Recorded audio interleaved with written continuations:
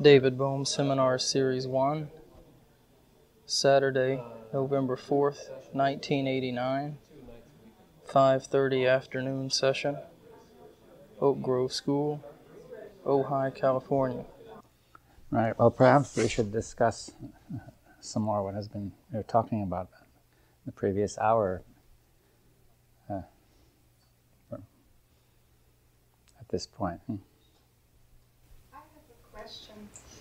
The question is for someone who has lived a childhood that has been very traumatic and very dysfunctional in post Nazi Germany and all of that, um, and has spent so many years in incoherent thought, and now is in a process of being more conscious.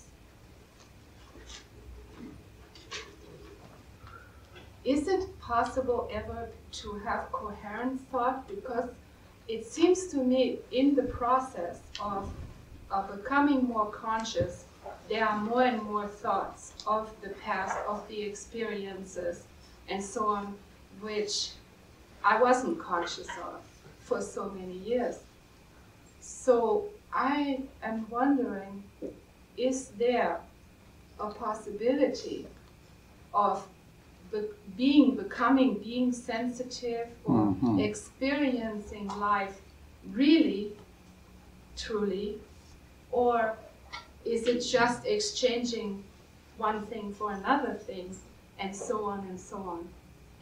Yes, I see your question. Uh, the uh, I think the question has a very subtle meaning. you see that it's not on the surface, right? Hmm.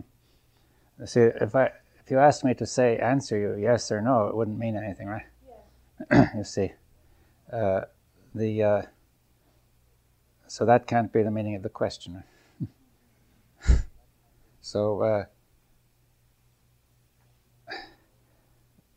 So say everybody has had that to some extent, right? Some more, some less. And because our whole society is incoherent and uh, our culture is incoherent, right? So, and we have this all on the record, all on the program. And we can, it then starts to come up and we wonder if we can ever get to the end of it. uh, now, those thoughts will inevitably come up, you see. Now, You see, they have to first of all ask what are the alternatives. You see, you see, one possibility is to say, okay, I don't think I can get to the end of it. I'll just give up. Right? but then you would go back into the old story. Hmm. Is that clear? That's one alternative. Uh, another is to ask a question: What about the thought that we are using in this very moment, this immediate present moment? to think about this and talk about it. Hmm. You see, is that coherent? you see, usually thought hides, the incoherence of thought hides behind the most subtle thought of all, which is the thought at this very moment that we are using to think about the other thought. Hmm? That is the key, right? is that clear? The thought that is happening right now, if that is incoherent, then all that we think about may be incoherent. You see, so ha- that's a very important question. That that's usually the way in which we have been kept in the trap. In the very thought with which we try to think about all our difficulties, we are using the same thought that is the source of our difficulty. Hmm? You see, so that's often, so often happen now. Uh, see, so uh, let's try to look at it that way. Uh, uh, see, we have all these traumatic experiences, and but we know how um, know, difficult they are. But finally, say, where are these experiences? You see, they have gone, right? In reality, they're there on the record, right?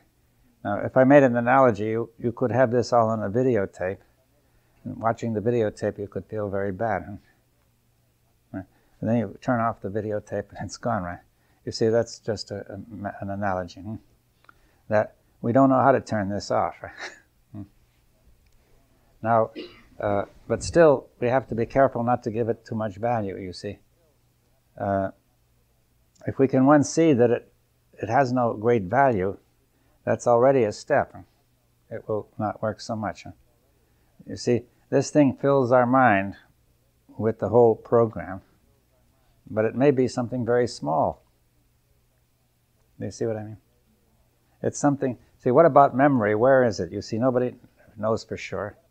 And it may be something very tenuous, very uh, gossamer, you see, very much more tenuous than any web of a spider. And it, it uh, but still, it produces all these results which look very powerful, like the program. So, if we could see memory for what it is, then we could say it's really something very small. But if we once assume that these things are real and true, then we are, we'll have to come to that more later, then we are caught in it, right? You see, if we ask a question which is coming out of the assumption that what memory presents is real and true, then we are caught in that whole thing. Is that clear? See, so we're going to have to ask how we is it really is, is it real and true and at least we can see it's not all that important so later on i'll try to discuss how to go into all that right you see see this uh, uh, to question the reality and truth of all that. See, if it is not real and not true, then it has no value. Now, that may seem very hard to give up all that. right? Could you say more about how you how you speaking of real and, and true well, I, historical sense? Well, just simply, let's take a traumatic experience that you've had in the past. Maybe it was real then, you see. Even then, it wasn't entirely really what you thought it was. Right? You, you formed conclusions. Now, that is gone, but the record is still there, and it's you relive it as if it were still there. So, but it's not, not real. Huh? It's not. What? Somatically. Somatically, it's being relived, right? Uh, and there's a, a, there's a judgment behind it that the thought that is telling you about this is true which backs it up. Now, the you have to get free of that. Now, I think it's a little early for us to go into that. You see, further. Uh, we, we, I think we should. Uh, there are a number of things which have to be brought up to be able to go into that, right? See how you would question this whole structure in, a, in an effective way. you know, I think that there are some things that are not exactly methods or anything, but that there's some sort of uh, suggestions you we can make as to what, what you know how to approach it. Right? Hmm. But I think I would like to put that off for a little while. But I would merely say that I think that, in principle, it should be possible for us to get free of all that for the reasons that I have said. Hmm.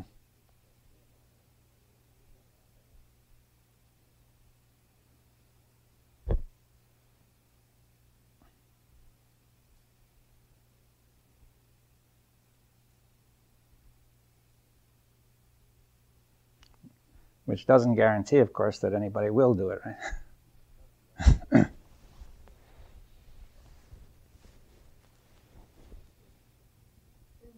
In though, then aren't you using a thought to um, to dispel another thought? And so, I'm using a thought to question another thought. You see, which is always the way thought works to, to show the contradiction, right? See, I, see, I'm not saying we mustn't use thought because that would uh, be again that would become impossible.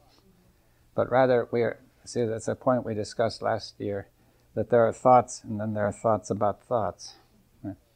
The world is our whole culture is full of thoughts about thoughts, which many of which are wrong. But we can use thoughts about thoughts to call attention to the whole way it's working. But what? And thoughts about bells. And, and felts and so on it makes a kind of map of the process. And then eventually that won't work unless we can move beyond that map, right, into the territory, right?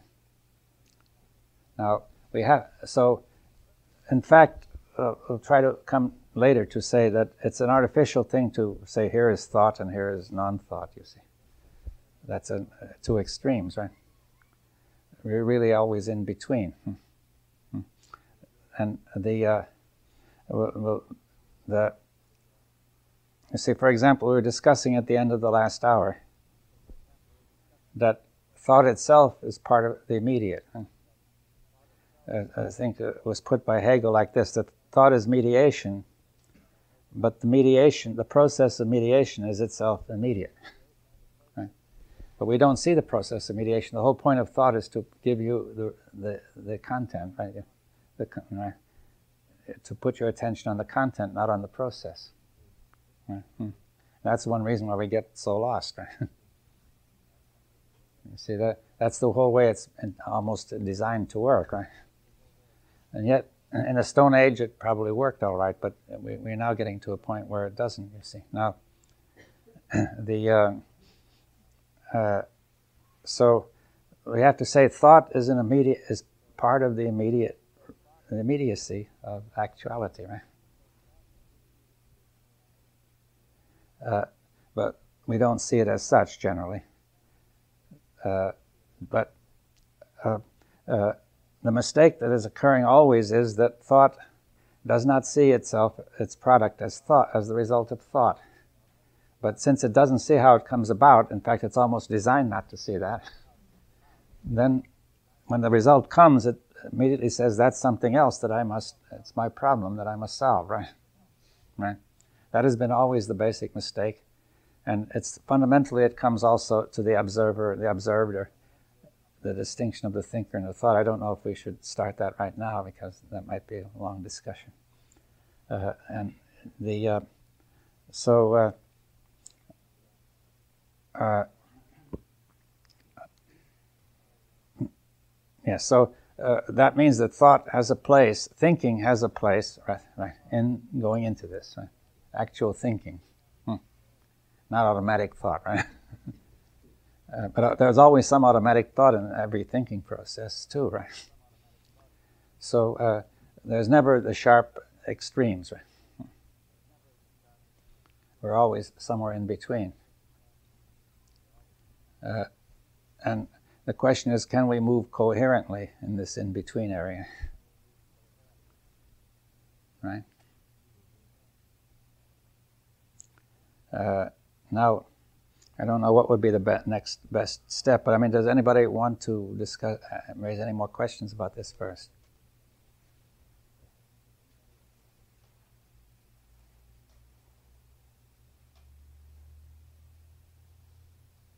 It seems to me that as uh, thought by nature defines whatever is being presented, the whole situation becomes automatically limited and it looks very, very difficult to escape.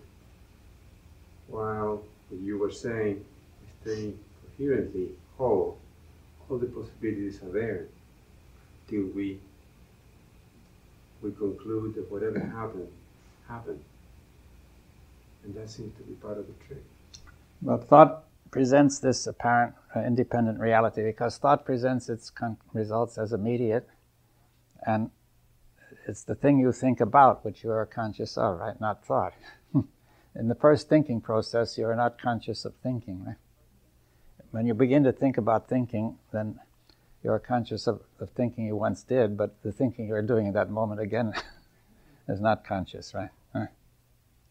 Is that clear? You see, you're not in contact with the actual immediate actuality process of thinking, right? Now, and then whatever appears has some aspect of uh, uh, in which you don't quite you may miss the fact that it is thinking hmm, or thought hmm. there's always that danger and once you make that slip over then you start that whole thing going huh?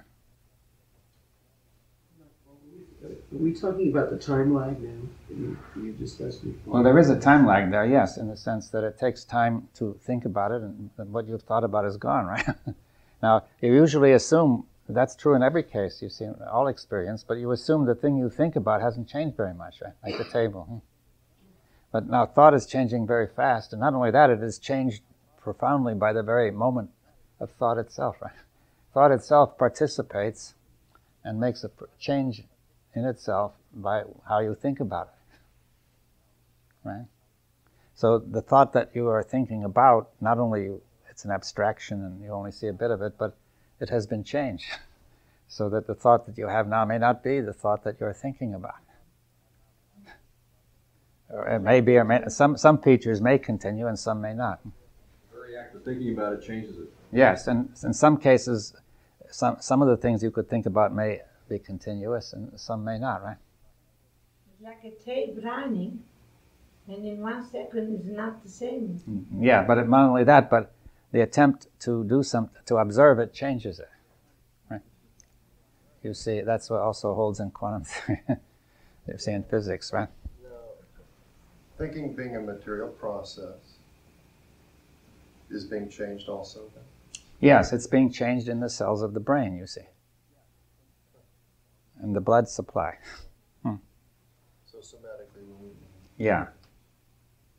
Is the path for us uh, to stay in coherent thought to just be ready to constantly recognize our mistakes, our contradictions? Well, that's that's part of it, but then you'll find you can't do it. That's see. what I was wondering. How we can stay in coherent thought. You see, we're exploring. Now, the next point is saying, I'm not telling you what to do. You see, I'm trying to point out some things I see, but I cannot tell you what to do now. but except in some vague general way, right? So the next thing is you discover, I suggest do this. You must tell me what happens. You've told me. You can't do it, right? Which doesn't surprise me. Yeah, so what will we do then? I mean, it seems reasonable, but you can't do it, right? well, What holds uh, the incoherent activity? There must be an awful big payoff all the time there to stay with that, It's to stay with what? being incoherent. I mean, you want to stay with being aware of incoherence, or with Mankind has stayed with that. uh, Well, yes, it's- it's been- something there for them. yes. Well, obviously, it's self-interest is one thing. You see, getting pleasure, getting uh, the hope of the reward that it will come later or something, right? Hmm. Yeah. When someone says they can't do it, is that a correct statement, or is it more correct to say they are not doing it? Well, we, I would say I haven't been able to do it. I find that I was not able to do it. You see, now that would be correct. That doesn't mean I can never do it. But it may give you clues about the way you're going about trying to do it. Yeah. Also, the way you the way you attach meaning to the statement "I can't do it," in, in your program, that may mean I can never do it. If it means that, you block yourself. See, see how subtle it is. That by just giving it that meaning, you have thrown yourself off, and it's absolutely impossible from now on. You see one little thing, and you've ruined it.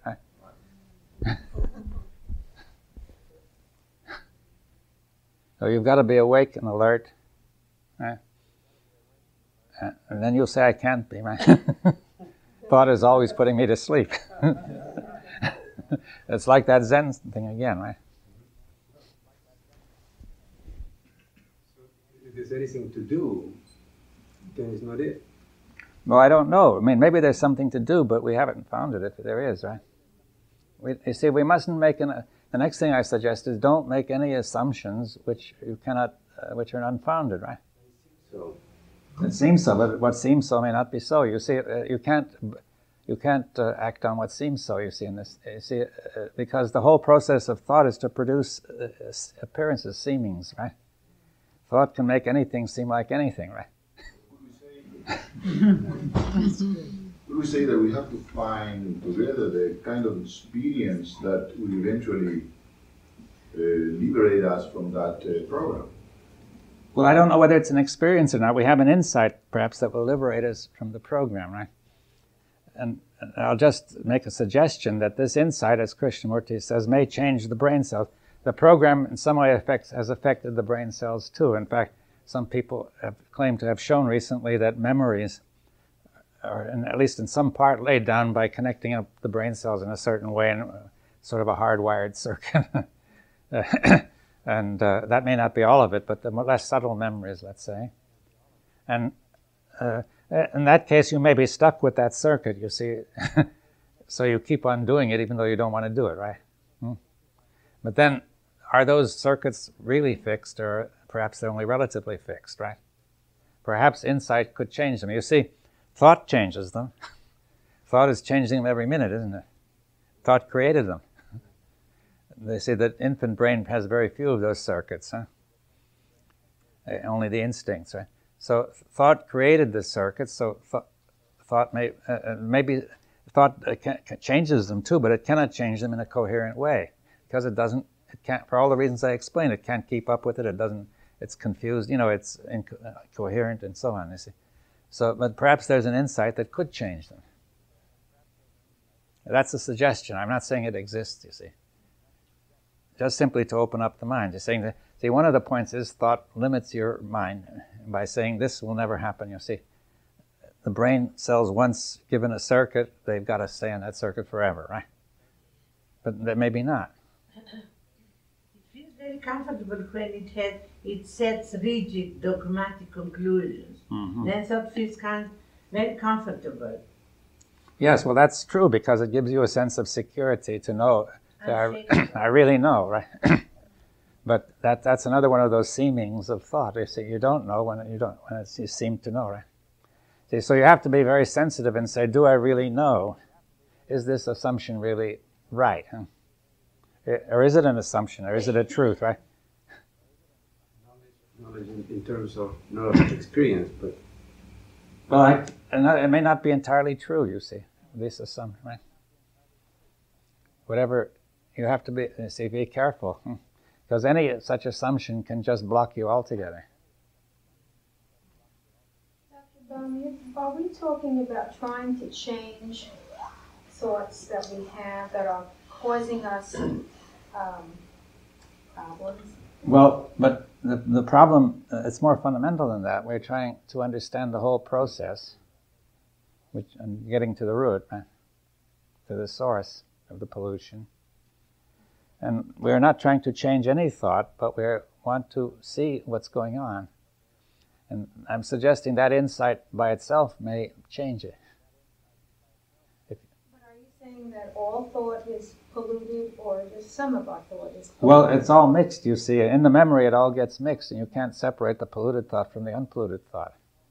The same as with the computer virus. Nobody knows how to separate the virus program from the rest of it.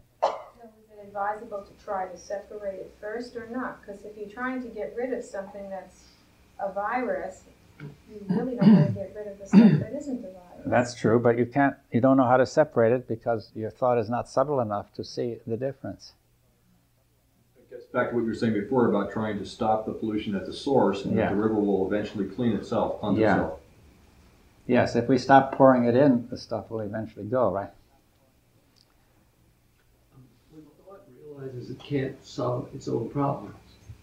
Krishnamurti used to talk about getting to the end of thought.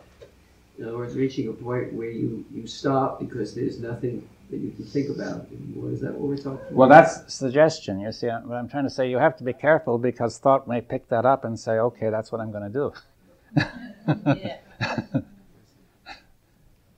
you see, that uh, it's very tricky. Huh? Go back to the question, who is doing it? Yes, and what is it meant by me, and you and I, and so on, right? You see, uh, so there are many questions involved there, you see, that uh, which are really not our individual incoherence, but it is the collective incoherence of the whole culture over thousands of years, right? All those ideas arose not were not invented by any particular person, and they didn't arise in a short time, right?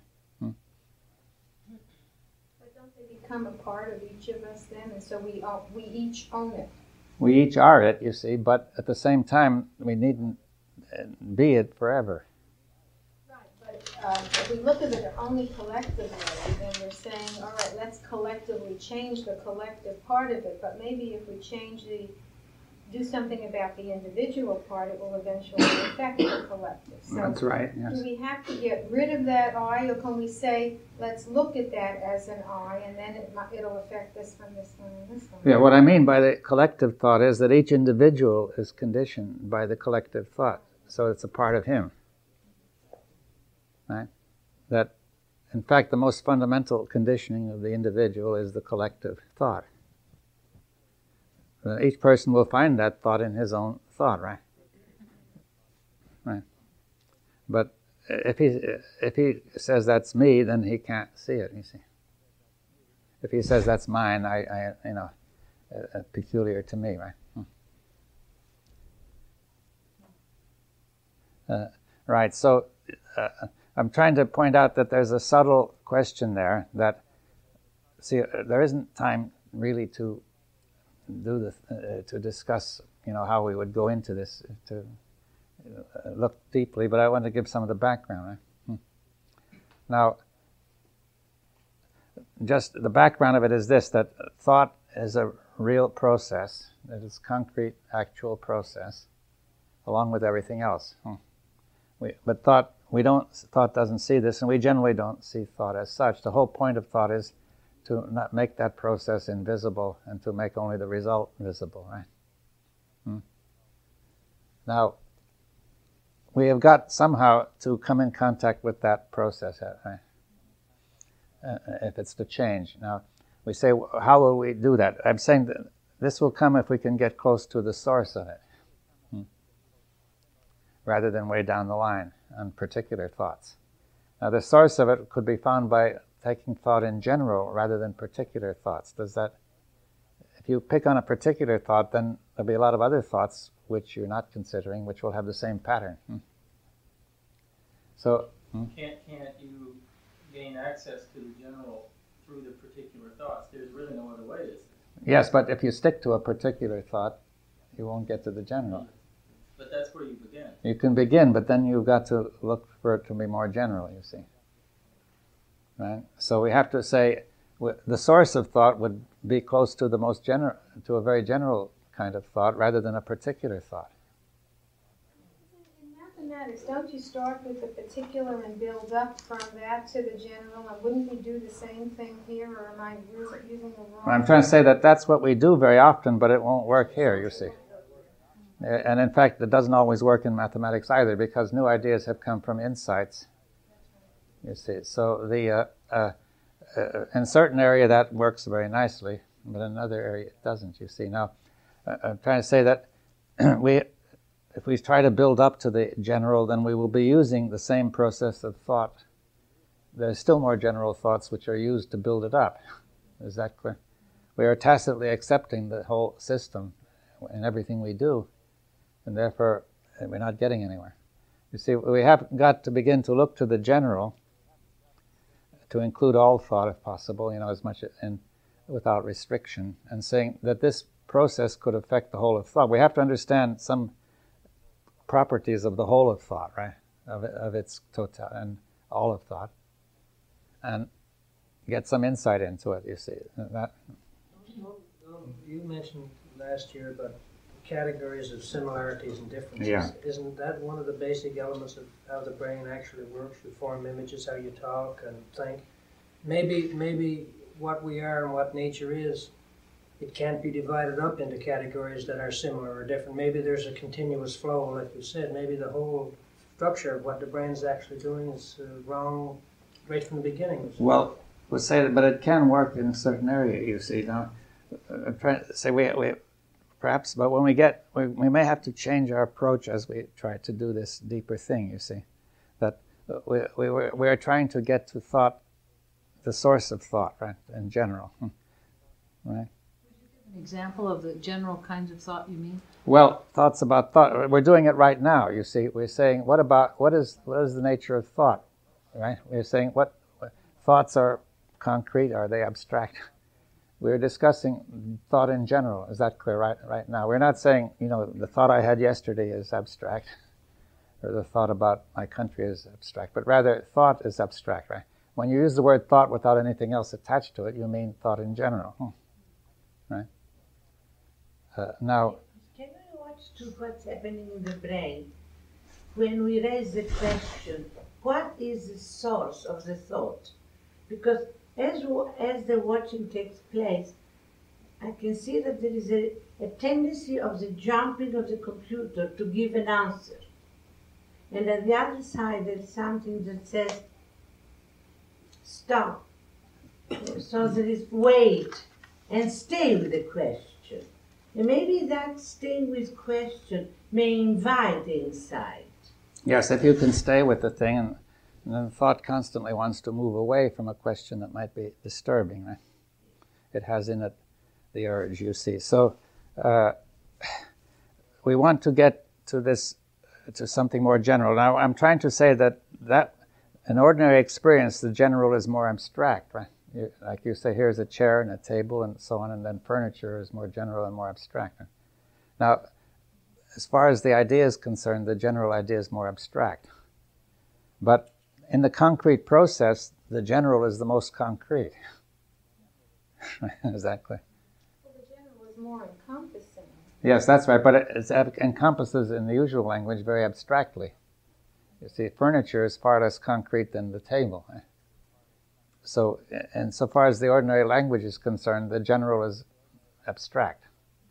But when we come to the process of thought itself, at its source, which uh, where it's generated, the general is the most concrete. You see, then it, it, it divides into different uh, thoughts. We haven't yet come to the source, have we? No. Okay, because I thought maybe I missed Evans. No, no. Something, you're getting at something very subtle. Yes, we don't know.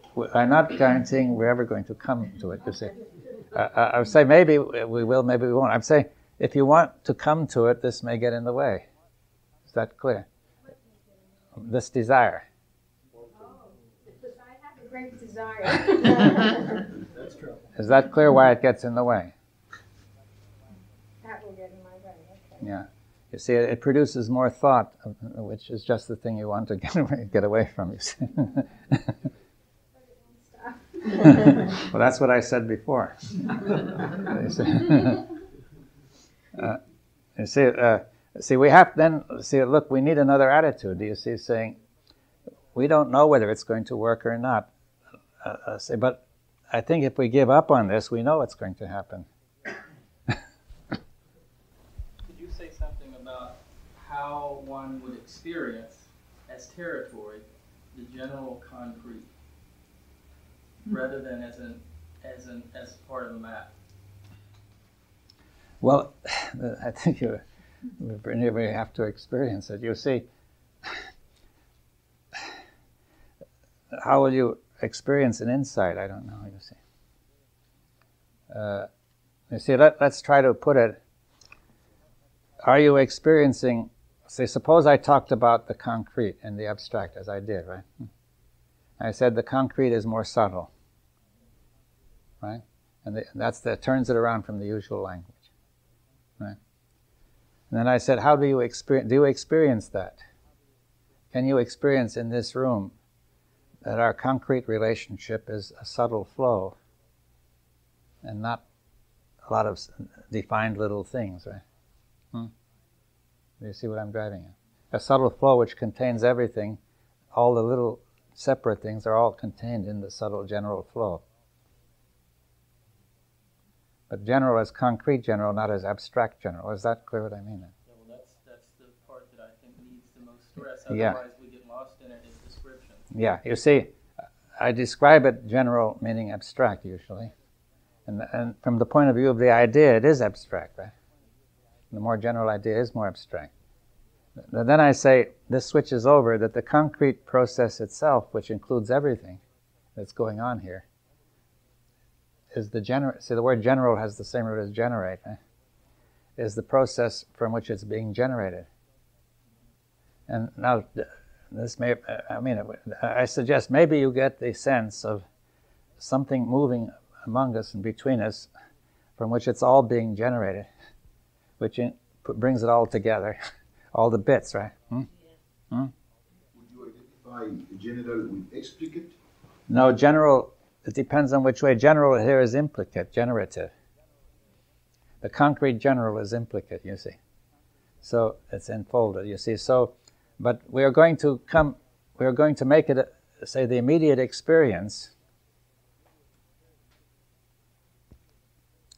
Uh, the immediate experience of the general, of the generative, you see, is the experience of the concrete which holds us together, the, glue, the cement, right? you see, I'm saying that um, I suggest, I hope I'm not just uh, uh, hypnotizing you into this. uh, the uh, yeah, I mean, even if you get the faintest whiff of it, uh, that would be enough for the moment, right? Do you see what I mean? Huh? Differentiate between uh, creating and thinking? Well, I say Like, the creative. Talk about insight. Yeah, the creative act, act is beyond thinking, yes, but uh, it may, but it may take make use of thinking, right? But if, um, if, if the insight is uh, the way you're talking about neural connections in a very sort of hard way, a, a leap that requires connections that aren't normally there to be something different. Mhm. And um, so that if what you say is instead of trying to think about this problem, let's see if we can find some way to you know be more creative with it. in Yeah, but then, but your whole way of putting it denies the whole thing. You see, let's try to be is a kind of thought which would put you in the wrong frame of mind. You see, we, uh, when we try to be it, we are already in the other frame of mind. You see. So I'm saying let's not try to be it. See, we have got to have another attitude, which is though we realize its importance, we're not going to try for anything. In, in the not trying, one is open to the possibility. Yeah. In the not trying. Yeah, and that we are open to this thing. We have an empty space, and we're open for it for something to happen. You see, now we're not trying because we don't know exactly what we want anyway, and uh, you know it's subtle and unknown and so on. So uh, uh, it may happen, it may not happen. But you see, our main interest has to be in something else, which is what is it? Do we see? Do, are we interested in this process itself? You see, as a scientist, if you said my main purpose is to make a great discovery and get the Nobel Prize, you see, uh, uh, but you say no. I got so interested in this thing that I forgot about that, right? right. So you're saying it's the process, just go with the process? Will you become interested in the process itself? You see, now the word interest means to interesse, to be in between, right? To be in it, right? Hmm. Because I'm thinking like, sometimes when, when I get involved in something that I'm doing, I lose sight of everything. Yeah, well, could we be, you see, in that state about this thing? Could we do that in regard to the thing we're talking Is about? Is that what you're saying? Yeah. To lose sight, you don't know who you are, what time it is, or, Yes. that's what you're saying, okay. Yeah. Now, that then you might then something might be discovered. You know, something might happen, right? Hmm. So, uh, we need this interest, and now interest arises because you see the great value of something. But this thing is a value not only because of the result it produces, or it may produce, but also in itself it's very, it's of great value, right? And just to, to see it. Well, sometimes some of the things I do that way, I do it because I, I enjoy it. In other words, it feels Yeah. good. Well, maybe you'll enjoy this too. Maybe not. You see, but uh, you see, uh, you can't say. Suppose you say that the question of coherence is closely related to the question of say beauty is a kind of sense of coherence, right? A harmony, order, right? And uh, if you see the beauty of nature, you see it may absorb you for that moment, right? But maybe this whole thing would have something similar if you could see it. Hmm? So that you would be inter- interested in it not for the sake of the result. But the result is added on, you see. Um,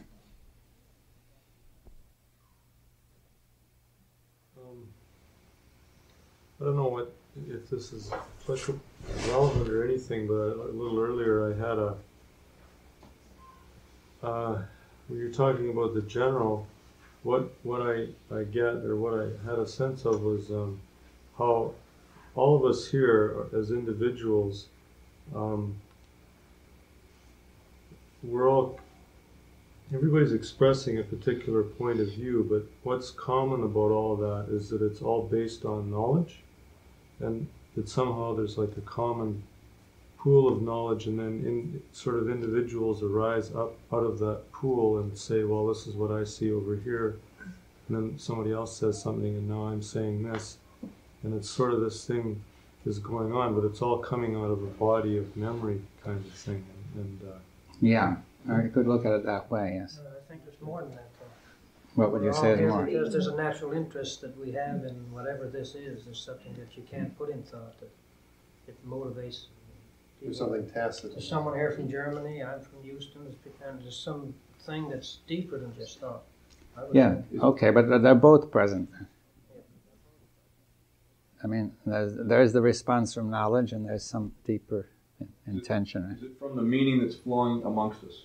Well, yes, I should think so. Yeah, that, that there be a meaning flowing amongst us, which we'll discuss. Uh, you see, this is the basis of dialogue. That meaning that flows among us, right? And uh, the uh, uh, now, if we can share this meaning, see, participate together in it, we will have a common meaning and a common mind, right? Hmm. But that can go either way, right? What?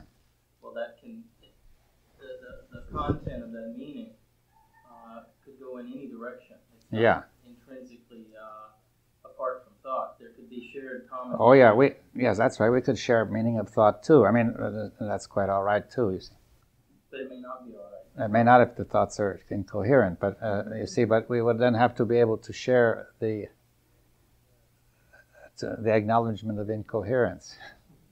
Dave, Isn't it one of the obstacles, the um, reluctance for most people to acknowledge that their thought is not exactly original and that it's, um, well, I don't want to say original, but that it's common and that it, you know, is duplicated in other minds? I've had the experience where I've had conversations with people where they're actually, say one is discussing a certain subject, um, the words, the thoughts are parallel to mine and to other people.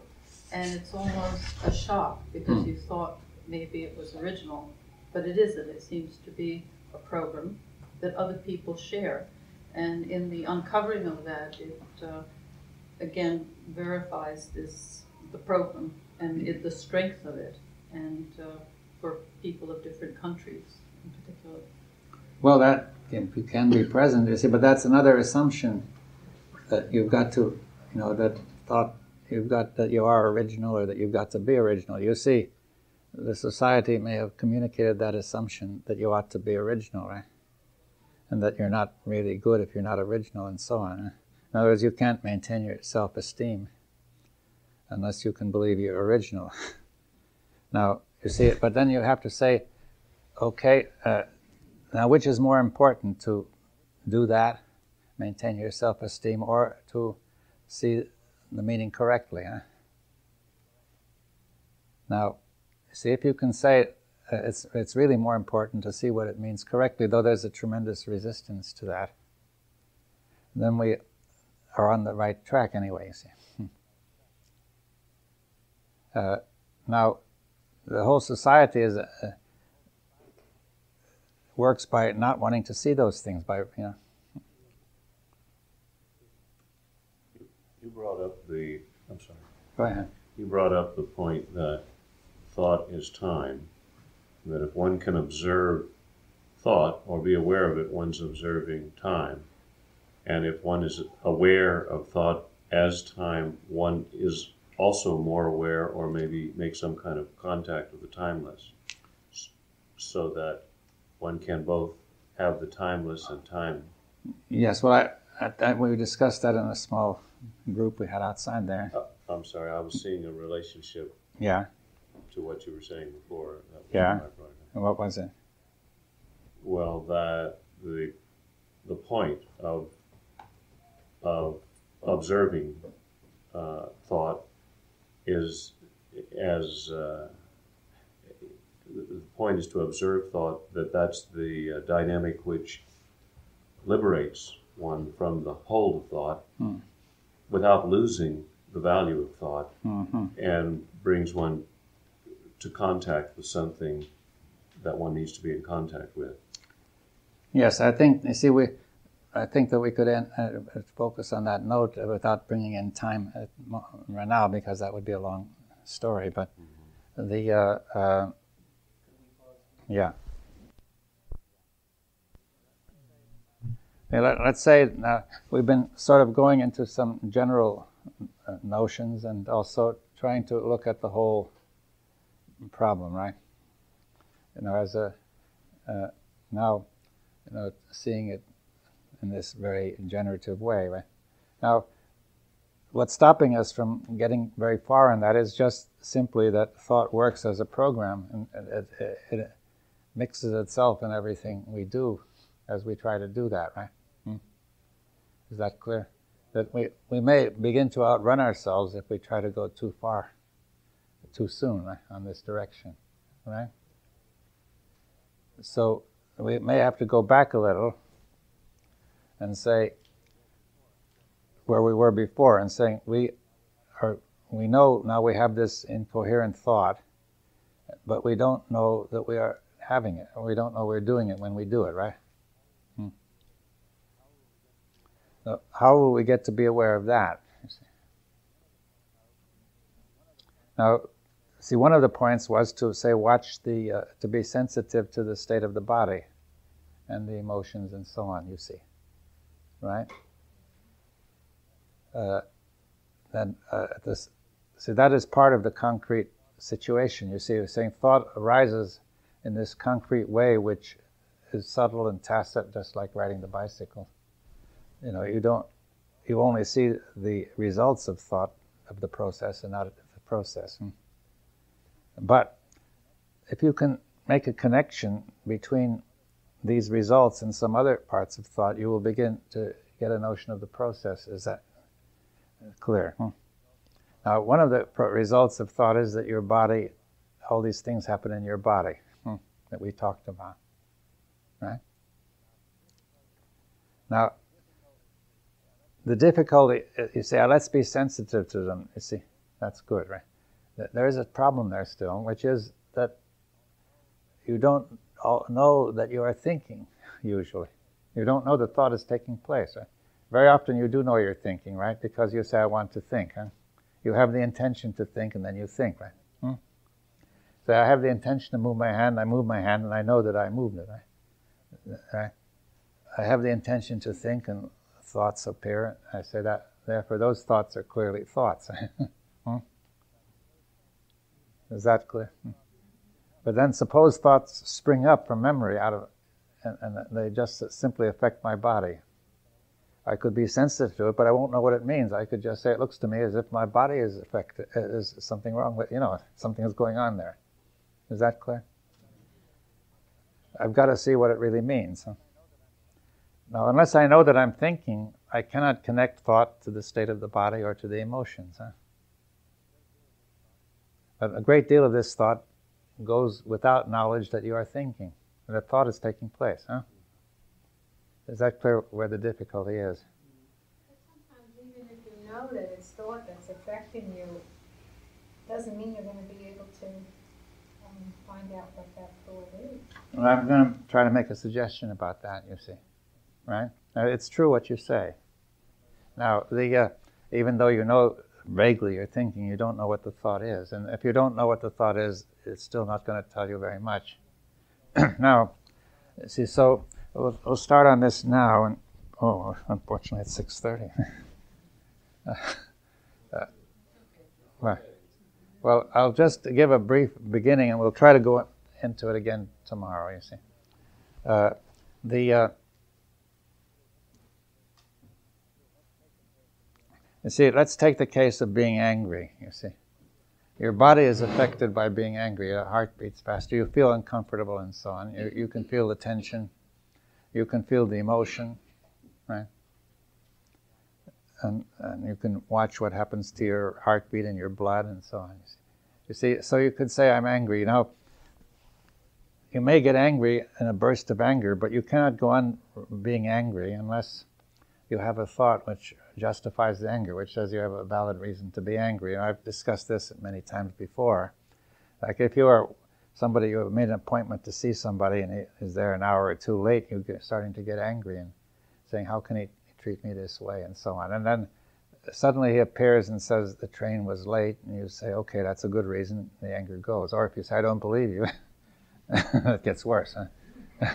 so the, uh, you can see now that thought is involved directly in maintaining anger. See, it's a direct proof that the state of the body and the emotions is affected by thought. Now, uh, but now, suppose you've had this this reason for being angry or some other reason.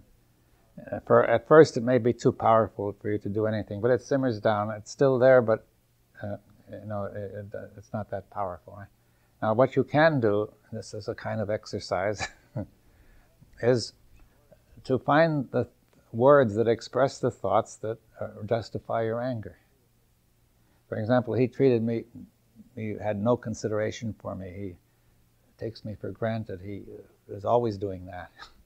Uh, you know, he, he, he had some trivial reason to, to do something else, and he, he, missed, he, just forgot about me. You see, and so on and so on. You can think all those thoughts, find them, you see. Uh, it'll be different in each case. So find the words which express those thoughts, right? And you will see the feelings of anger in the state of the body appearing, right? Well, that will be a direct proof that thought is doing it, right? Well, not only that, but it makes it possible to see the connection between thought and the state of the body and the emotions, right? To get a sense of that connection, to be sensitive to it, so you can feel that the thought is connected to that emotion, but you'll also feel that emotion is affecting the thought. It, it doesn't. It, it's telling you, giving you the impulse. Don't give up this thought, right? uh, this thought may not make much sense, but don't give it up. You see, you may say, if I get angry with this person, we will have a fight. It will destroy everything we're doing. It's terrible, but still, I must. It's too important. I've got to remain angry, right? you see. So, uh, therefore, see. Suppose you say instead. Usually, you try to suppress those thoughts say, I shouldn't have them, right? Suppose instead you say, I'm going to bring up those thoughts, but suspend them. I'm neither going to carry them out nor cover them up. Huh? But just look at how it all works. Somebody said if you save these kind of angry emotions, uh, you just suppress them. It's like save them like you put them the money in the bank and you get interest. Yeah. they will come later. They'll come later. They're, interest. They're, in abeyance, you see, that they're they're put aside, right? Yeah. Now, uh, but they'll come back, you see. Now, the, the point is, though, here, let's bring them out. Don't carry them out. I mean, don't uh, don't insult the person or something. But uh, by by the words, the words will See, they're there all the time on the program. They're affecting your body all the time and your emotions. But the words have been suppressed, right? Let, see if you can get the words out, you see. Then you know it's thought, right? If you don't. Yeah, but you conceive directly in your mind, it's thought because the words tell you that. You know? Then you can see directly that the words and the emotions and the body are all in one process, which is concrete. Does it help to write them down? You can write them down too, yes. Bring them out. Bring them out, but the important thing is to watch what's going on, you see. Is that, is, excuse me, is that what psychodrama people mean when they say we fight fire with gasoline? Well, maybe they mean that. I don't know. You see, uh, I'm trying to say, though, that we're not trying to get rid of anger. You see, this is very important. We, we are trying, our purpose is to watch what is happening. See, getting rid of anger is rather a triviality you could get rid of anger by simply believing this person's reason for being late, you see. but, but what's happening this person says, how do you dare to ask to, to query that? Well, yeah, but, uh, it's an infringement of my freedom. I can cover whatever I feel like it. Yes, all right, but you're doing this after he has left and the anger has simmered down, you see. Uh, right? You see, uh, you probably can't do it while he's saying all those things. but now the purpose of this is not to get rid of anger. You see, that, that would reduce it to a triviality, right? Uh, because you can get rid of anger in many ways, but uh, the, the point is it's a much deeper purpose, which is to become aware of how it all works. It's the beginning of an insight which can be liberating, right? You're saying do it, it's like an experiment, then you're doing yeah. a little experiment with yourself. Yeah. Yes, you're doing an experiment and observing the result, you see, and observing what happens, right? It's like being a laboratory. Our whole organism is a laboratory. Yes. And at the same time, uh, you're a scientist observing. You're producing that you're doing the experiment, you're producing the situation and observing what happens, being very sensitive to the now the instruments are the body and the emotions and the words, right? The words produce the situation and the instruments are the body and the emotions, which are the thing you have to ob- uh, observe, right? Hmm? So we're saying don't suppress the body or the emotions because that's just, it's like saying there are all sorts of, you know, meters or galvanometers all over the place and uh, say you're supposed not to have them working. So you could uh, say the scientist could say, let me turn the galvanometer back to zero because that's where it ought to be. that would be a suppressing anger, right? uh, so, but it, I mean, it doesn't mean a thing, right? So, therefore, the idea is let the galvanometer swing. It tells you something, right? See, the emotions are the instrument that tells you what's happening. The, the state of the body is the instrument that tells you what is happening. Something is happening. Yes, well, that's important. Now, we'll go into that tomorrow. It tells you not only something is happening, but if you watch carefully, it tells you what increases it and what decreases it, and so on. You see, you begin to get more insight, right? First, first doing coherence. Yeah, you're getting a sense of what it's all about, right? You're the laboratory, but normally we don't see the laboratory. That's the problem. We're just we're the action in it, and we need to be also the observer of it. Well, we think we're the observer and observing.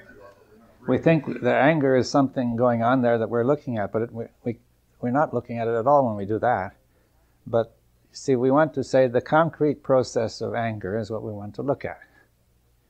Now, we've got to get that concrete process. We have, it's going actually, but we we can't see all of it because we've covered up a part of it, namely the thought, right?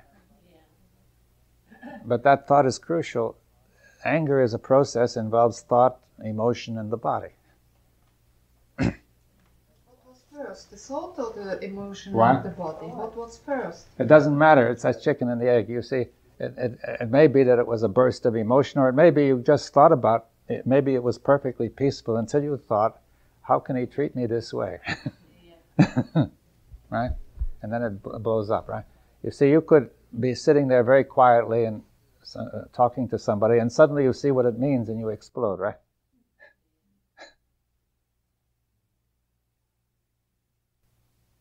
Shouldn't we add to this, if you're doing this experiment, somewhat removed from the situation, calling up anger and just looking at it, that in fact you might not be able to just look at it. Yes, you, you then you then we'll have to go into. You may not. I think we should bring come back to this tomorrow because not only we can do this with anger, but with fear, with uh, jealousy or hatred. You know, it's much harder. Anger is easier because it's not quite that in, intense and not not as subtle as some of the others. Right? Even with the most, even with the most coarse aspect of it, anger, for instance, or Yeah. the simplest, there's still often great difficulty in what you call suspending it. Oh yes, yes. I think we should bring this up tomorrow. You see that perhaps we can go into it more carefully and uh, go into this whole uh, uh, question of uh, what we can observe. You see, because when you say look at anger, we say what what is anger? What shall we look at? Right? What is the concrete process of anger? See, if you say look at the table, you see you can look at this table, not look at the thought about the table. Right? Now, but if you use the word anger, it produces a thought, which is what anger is supposed to be. And, that, and you see that thought inside you, and that's what you're seeing. Right? We'll look at fear and jealousy and all those other emotions, general human emotions that we all feel. Yeah, I think it can be done, but uh, you'll have to be very. It, it requires a great deal of seriousness, in the sense that the mind constantly wants to move away from that, right? They might camouflage it as righteous indignation. Yeah. All sorts of things. You can say this is righteous anger, this is justified, valid anger. I mean, I have very good reason to be angry. It's terrible what he did. It's injustice to me. It's injustice to somebody else. Uh, you see, now uh, maybe for all we know, but saying that there's something more important than that, which is that the whole human race is moving toward extinction if we can't see this sort of thing. learning as well that we must not be angry. And by watching, let's see if we- there is an interference to suppress the anger. Yeah, what, what I may suggest is during the night, maybe you will find an occasion to try this. okay.